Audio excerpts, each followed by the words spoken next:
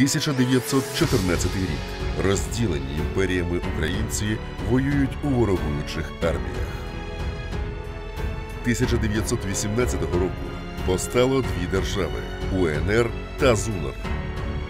1919 рік, 22 січня, акт Злуки проголошує їх об'єднання в єдину соборну Україну.